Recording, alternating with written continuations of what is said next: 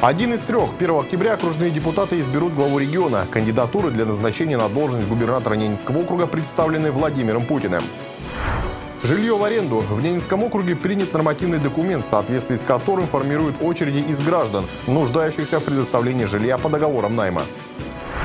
Восемь жителей региона награждены нагрудным знаком «Почетный донор России». Этот знак присваивается тем, кто сдал кровь не менее 40 раз и плазму крови не менее 60 раз. Подарок детворе. Компания Медфуд передала мэрии новую игровую площадку. Впрочем, на этом подарки не закончились. Здравствуйте, в студии Иван Никонов. Избрание губернатора Ненецкого округа намечено на 1 октября. Депутатам окружного парламента предстоит выбрать одного из трех кандидатов на пост главы региона, представленных главой государства. Владимир Путин внес на рассмотрение законодательного собрания кандидатуры временно исполняющего обязанности губернатора Ненецкого округа Александра Цибульского, а также депутатов регионального собрания Андрея Ружникова и Андрея Смыченкова. Избрание губернатора Ненецкого округа проводится открытым голосованием, осуществляемым в порядке, установленным регламентом собрания депутатов. Избранным считается кандидат, за которого проголосовало большинство от установленного числа депутатов собрания депутатов округа. В случае, если ни один кандидат не набрал необходимого числа голосов, проводится повторное голосование по двум кандидатам, набравшим наибольшее число голосов. По итогам уже повторного голосования избранным считается кандидат, получивший наибольшее число голосов депутатов. На 1 октября намечено и проведение торжественной церемонии в вступления в должность избранного губернатора Ненецкого округа. Правительство утвердило двухэтапную индексацию тарифов на жилищно-коммунальные услуги в 2019 году. Первый раз платежки вырастут с 1 января на 1,7%, второй – с 1 июля на 2,4%. Раньше суммы в платежках повышались раз в год. Глава Минэкономразвития Максим Орешкин пояснил, что параметры повышения тарифов были заложены в прогнозе социально-экономического развития страны на 2019 год и на плановый период 2020 и 2021 годов. Документ был одобрен на заседании правительства еще 20 сентября. По его словам, несмотря на повышение НДС со следующего года, сохранен подход к индексации тарифов на уровне целевой инфляции около 4%. Единственное изменение предполагается индексацию тарифов ресурсоснабжающих организаций разбить на два этапа сделать повышение на 1,7% с 1 января. Максим Орешкин акцентировал внимание на то, что Рост общего платежа за жилищно-коммунальные услуги, несмотря на повышение НДС, не должен превысить 4%. В Ненецком округе утвержден порядок учета граждан, имеющих право получить арендное жилье. Нормативный документ приняли на очередном заседании администрации региона. С помощью нового порядка муниципалитеты смогут сформировать очереди из граждан, нуждающихся в предоставлении жилья по договорам найма. Это могут быть муниципальные, государственные или частные многоквартирные дома, сдаваемые в аренду. Пока в регионе подобных жилых помещений, а соответственно и практики их предоставления жителям нет. Развитие в регионе рынка доступного арендного жилья необходимо для граждан, доход которых не позволяет им приобрести жилье, но при этом они не являются малоимущими, чтобы получить квартиру от государства. Благодаря принимаемой нормативной базе люди, имеющие невысокий уровень дохода, смогут улучшить свои жилищные условия. Проектом постановления установлен перечень документов, прилагаемых к заявлению о принятии на учет граждан, срок рассмотрения заявления, срок принятия полномочным органом местного самоуправления соответствующих решений. А, а также правила регистрации и хранения поступившей документации, э, документов граждан. Комментируя новый нормативный документ, глава региона Александр Цибульский поручил руководству профильного ведомства приступить к поиску потенциальных инвесторов и людей, которые готовы вступить в проект на принципах государственно-частного партнерства. Мне кажется, это хороший с точки зрения потенциальных инвестиций проект. Мы о нем много говорили, вот сейчас его уже оформили в качестве соответствующего нормативного правового акта. Кроме этого, администрацией округа утвержден порядок, в соответствии с которым муниципалитеты будут сообщать гражданам о способах формирования фонда капремонта. Речь идет об информировании собственников жилых помещений во вновь построенных многоквартирных домах. Раньше по умолчанию это делал фонд капремонта. Собственникам просто сообщали, что они должны принять соответствующее решение о выборе способа формирования фонда капитального ремонта. Согласно утвержденному порядку, информирование проводится в случае, если собственники в соответствии со сроками не выбрали способ формирования фонда. Информацию размещают в интернете или на стендах. В Наринмаре обсудили коррупционные риски в сфере закупок. Очередное заседание комиссии по координации работы по противодействию коррупции прошло под председательством главы региона Александра Цибульского. Участники заседания обсудили коррупционные риски в сфере проведения закупок, а также качество профилактической работы в органах власти и местного самоуправления Ненецкого округа. Работа по выявлению коррупционных рисков в Ненецком округе ведется по различным направлениям и на систематической основе. Одна из уязвимых сфер госзакупки. В целях снижения коррупционных рисков управлением госзаказа систематически проводится работа по централизации закупок заказчиков региона. Проверено 388 субъектов. Конфликта интересов не выявлено. А, в целях выявления случаев возникновения конфликта интересов у одной из сторон, которая является лица, замещающие должности государственной гражданской службы в управлении, а, сотрудникам управления осуществляется анализ учредительных документов, в том числе выписок из Единого государственного реестра юридических лиц, индивидуальных предпринимателей, а, в составе учредителей, участников организаций, лиц, которые потенциально могли бы, с которыми э, у сотрудников управления возник потенциальный конфликт интересов. Постоянно действующим органом внешнего государственного финансового контроля, созданным собранием депутатов и ему подотчетным, является счетная палата Ненецкого округа. Она в процессе реализации своих полномочий осуществляет контрольно-ревизионную, экспертно-аналитическую, информационную и иную деятельность. В 2017-2018 годах счетной палатой проведено 7 проверок. Общее количество объектов, в которых проводился аудит в сфере закупок, составило 8 учреждений региона. При проведении счетной палаты контрольных мероприятий за указанный период не выявлено фактов нарушений, в которых усматривались бы признаки коррупционных правонарушений. Коррупционные риски выявляет контрольно-ревизионный комитет. Докладчики отметили недостаток экспертного мнения по данному вопросу. Глава региона Александр Цибульский, в свою очередь, поручил специалистам комитета проработать этот механизм. Мы с вами вынуждены доверять тем коммерческим предложениям и тем компаниям, которые на нас выходят, которые, возможно, нам дают заведомо завышенные цены на производство той или тех или иных работ. Поэтому это крайне важный вопрос. Лена Викторовна, вы подготовьте, пожалуйста, совместно тогда, наверное, с управлением э, предложение по тому, как можно было бы разработать механизм по возможному привлечению независимых экспертов. Во второй части совещания собравшиеся обсудили состояние работы по профилактике коррупции в органах исполнительной власти и органах местного самоуправления Ненецкого округа. По словам начальника секции противодействия коррупции Дмитрия Вавилова, профилактика осуществляется путем формирования в обществе нетерпимости к коррупционному поведению, осуществления антикоррупционной экспертизы причин коррупции. Важным моментом антикоррупционной деятельности является проведение антикоррупционной экспертизы нормативных правовых актов и их проектов. В частности, в этом году был э, запущен портал э, по инициативе аппарата администрации портал э, для размещения таких проектов от всех органов государственной власти.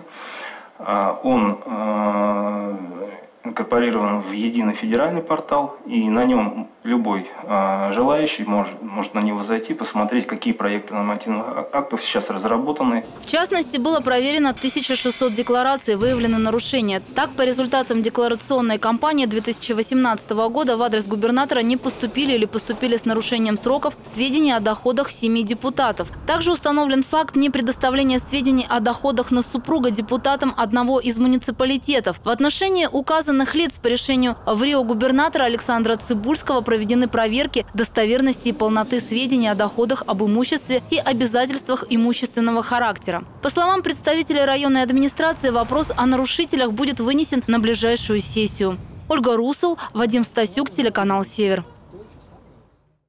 Безымянные спасатели жизни. Список почетных доноров Ненецкого округа пополнился новыми именами. Накануне состоялась торжественная церемония их награждения. Она прошла в Департаменте здравоохранения.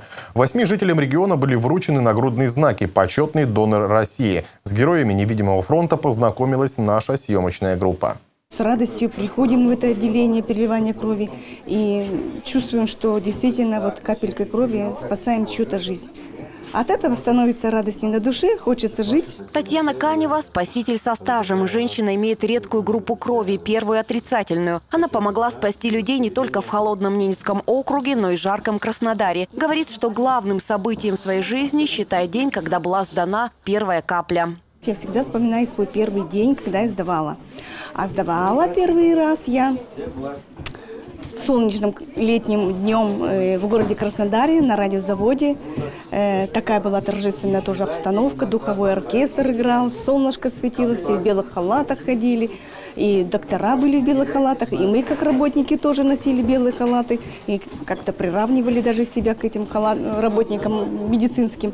И, в принципе, все родные, близкие стали друг другу, радостные такие ходили весь день. Среди восьми жителей региона, которые были награждены нагрудным знаком, почетный донор России и Борис Честнейшин. Он имеет четвертую положительную группу крови. Кстати, она самая редкая на Земле и встречается только у 7% людей. Ну, захотелось, наверное, помочь кому-то. Вот и помог. Я, я считаю, это надо. Помогать людям. И осознавать то, что ты помогаешь. А у вас дети есть? Дети двое, да. Двое детей. Они гордятся папой? Конечно. Почетный донор – это здорово. Напомню, что нагрудный знак «Почетный донор России» присваивается тем, кто сдал кровь не менее 40 раз и плазму крови не менее 60. Сегодня в торжественной обстановке безымянных героев поздравил начальник управления здравоохранения Андрей Апицын и заведующий отделением переливания крови Леон Миносян. Э, сегодня, когда вручаются вот эти знаки «Почетный донор России», я хотел бы пожелать вам, чтобы от этой процедуры вы ни капельки не теряли свое здоровье, а лишь наоборот, укрепляли его. Чтобы у вас все было хорошо, чтобы с каждой кроводачей, плазмодачей вы ощущали только прилив силы, прилив жизненной энергии. Представьте, сколько жизней спасены вами. Вы, я считаю всегда, доноры наши, именно на крайнем севере, это доноры, это солдаты невидимого фронта, по первому сигналу приходите, сдаете кровь, спасаете жизнь. Вы совершаете подвиг молчаливый. Каждый год список героев пополняется новыми именами. В этом году высокого звания были удостоены еще 10 жителей региона. Всего в НАУ в настоящее время 360 постоянных доноров, 157 из которых почетные. Таким гражданам предоставляется ежегодная единовременная выплата в сумме 13 тысяч рублей. Эта мера социальной поддержки осуществляется за счет средств федерального бюджета. На территории Ненецкого округа предусматривается и пакет социальных гарантий для тех, кто желает стать донором крови. К примеру, единовременная выплата донору после каждой сдачи крови в текущем году составляет более 900 рублей. Помимо этого, активные доноры к данной сумме получают еще 1000 рублей в качестве единовременной выплаты. Любовь Пермякова, Ленит Шишелов, телеканал «Север». Новую детскую площадку в дар горожанам передала компания Медфуд. Небольшой компактный городок расположился во дворе жилого дома по Ленина 41Б. Подробнее в материале Ольги Русол.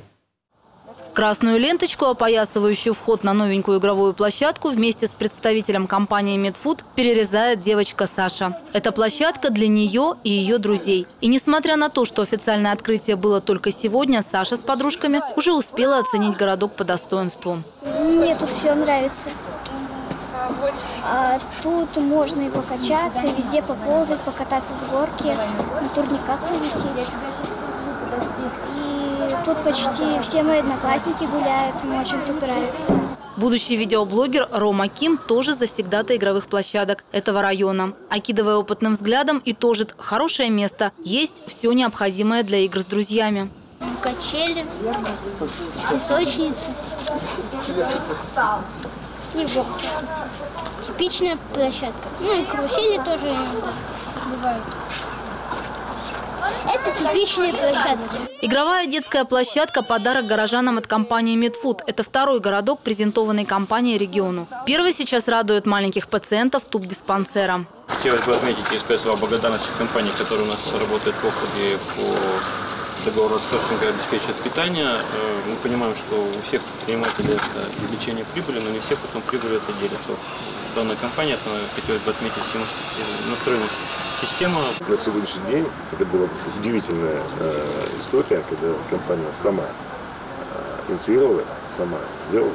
Это просто дарит горожанам это хорошую, интересную площадку. Добротная площадка компактная, но совсем необходимым набором для игр и развлечений. Еще одно неоспоримое достоинство – ограждение. Отпускать детей здесь можно, не опасаясь, что они выбегут на дорогу. Посчитали, что двор достаточно пустой и выбрали вот э, именно это место. Впрочем, на этом подарки не заканчиваются. Сертификат на спецавтомобиль марки УАЗ. Еще один презент от компании жителям Ненецкого округа. Со своей стороны хочу сказать слова благодарности руководству компании за прогрессивное руководство, за прогрессивное ведение бизнеса, за то, что в своей работе вы видите и социальную направленность. Этот автомобиль отправится в один из муниципалитетов Ненецкого округа, чтобы стать на стражу пожарной безопасности. Ольга Русул, Вадим Стасюк, телеканал «Север». Поправить свое здоровье жители региона теперь могут в федеральном санатории Решма в Ивановской области. Центр вошел в программу оказания бесплатной медицинской помощи гражданам, проживающих на территории Ненецкого округа. О том, как стать пациентом одного из лучших санаториев страны, расскажет Любовь Пермякова. Медицинский центр Решма вошел в программу оказания бесплатной медицинской помощи гражданам, проживающих на территории Ненецкого автономного округа. То есть каждый житель региона, имеющий полис обязательного медицинского страхования, а также наличие определенных медицинских показаний, может пройти бесплатное лечение в этом федеральном центре путь начинается от э, лечащего врача. То есть если э, есть показания э, для того, чтобы человек приехал к нам на медицинскую реабилитацию, а именно на медицинской реабилитации мы специализируемся, то человек обращается к своему лечащему врачу, и тот уже, соответственно, выписывает направляющие документы, и по согласованию с нами в определенную дату он приезжает к нам. Сотрудничество с Решмой и Ненецким округом в рамках программы ОМС осуществляется уже второй год. В прошлом году реабилитацию в центре прошли 97 человек. Основным направлением медицинской деятельности центра является лечение заболеваний органов кровообращения, органов дыхания, костно-мышечной системы, заболеваний желудочно-кишечного тракта и медицинская реабилитация. Учебная база у нас очень обширная, мы постоянно ее совершенствуем, поскольку мы федералы, и к нам очень пристальное внимание. Поэтому а, у нас есть водолечение, а,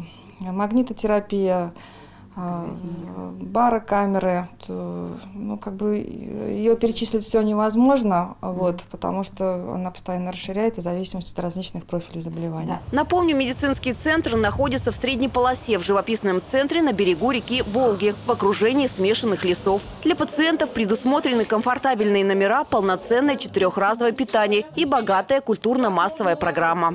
Если мы берем главный корпус, то у нас все организовано для отдыха людей. То есть помимо того, что они проходят лечение, то есть у них очень обширная досуговая программа. У нас есть игровые комнаты, у нас есть спортивный зал, у нас есть э, замечательный киноконцертный зал. А, то есть у нас есть чем заняться, помимо того, что лечиться. Ну и, конечно самое главное, зачем к нам люди ездят, это за оздоровлением.